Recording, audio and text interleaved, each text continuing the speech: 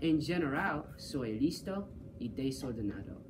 A veces, y soy gracioso, atrevido y chachi.